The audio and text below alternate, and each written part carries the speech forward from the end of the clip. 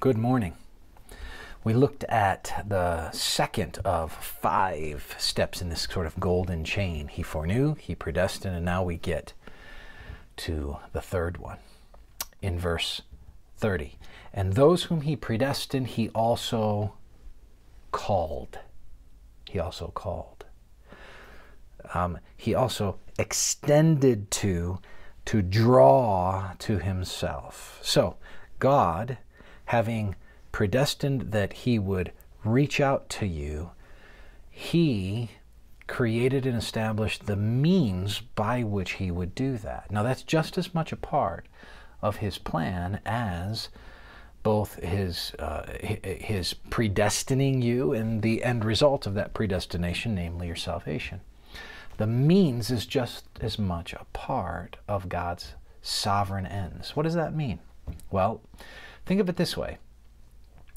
Um, God mapped out not just that you would come to Him, but how you would come to Him.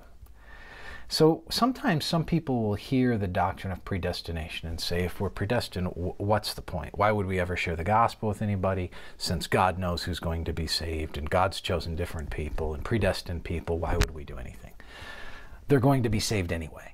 And the answer is no, they wouldn't. And the reason they wouldn't is because the very fact that you would preach to somebody the very fact that you would share your faith with somebody, the very fact that someone shared the faith with you, the fact that you heard the message somehow, whether it be through a parent, a grandparent, uh, a sibling, a coworker, a preacher, someone on the radio, someone on YouTube, take your pick, however you heard it. The fact is that portion of calling, the me- mechanism of calling, and the internal draw that you had to that are just as much a part of God's sovereign plan.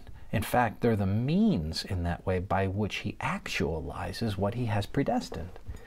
So that God draws people to Himself, and He uses means to do it. He uses means to do it. So, God has the whole golden chain, right? He foreknows, He predestines, and then He he calls, he reaches out, he extends. That comes through an external means and it comes through an internal wooing as well. So when you heard that message, you, you felt a call in that sense. Something tugged at you. The work of the Spirit in drawing you. John 6 talks about this idea of all that the Father give me, I won't lose any of them. There's a there's this giving where God gives us over to belief, right? And we're drawn, as it were, to Him. So a couple of things out of that. Number one, remember that God's sovereignty goes even to the means. Secondly, you get to play a part in those means by being available to be potentially the external means. Third, thank God for the means that He provided, the people He provided, the internal witness and call He provided in your life so that you could be His child. May the Lord bless you with the reassurance that you're His because He has sought you. Take care.